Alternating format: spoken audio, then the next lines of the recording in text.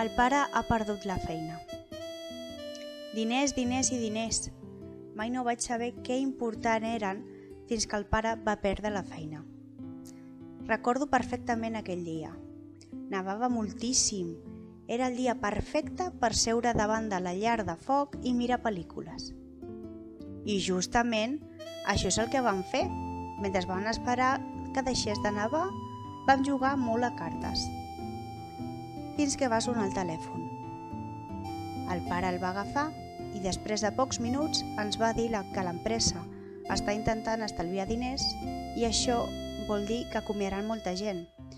Una d'ells és el meu pare. La mare va aixecar els ànims amb una bona tassa de xocolata i unes crispetes.